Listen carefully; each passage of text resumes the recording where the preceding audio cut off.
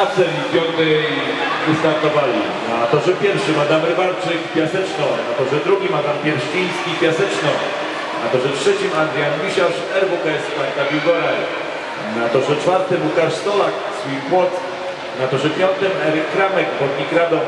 I na torze szóstym Rafał Glazer, Piaseczno.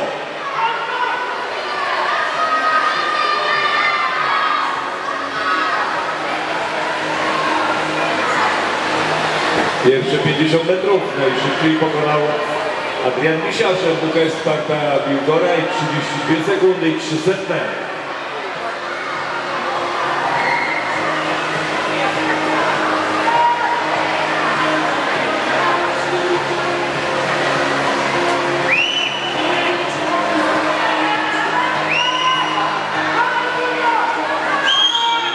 I zapowiada się emocjonująca końcówka.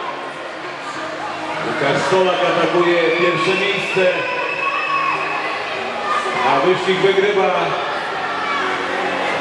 Adrian Misiarz, WKS Sparta Biłgoraj. 1 minuta 8 i 35 setnych.